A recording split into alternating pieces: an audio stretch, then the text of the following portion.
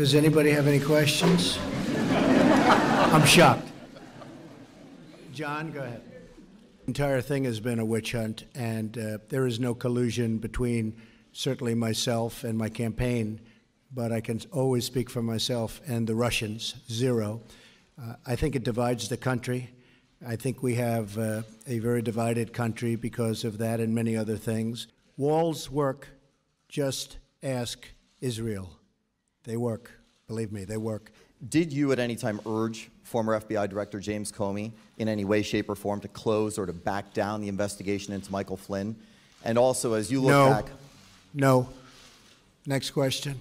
When I made that decision, I actually thought that it would be a bipartisan decision because you look at all of the people on the Democratic side, uh, not only the Republican side, that were saying such terrible things about Director Comey because Obamacare is collapsing. It's dead.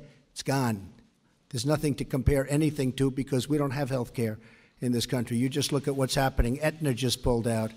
Other insurance companies are pulling out. We don't have health care. Obamacare is a fallacy. It's gone. We need health care. We need to cut taxes. We're going to cut taxes. If I get what I want, it'll be the biggest tax cut in the history of our nation.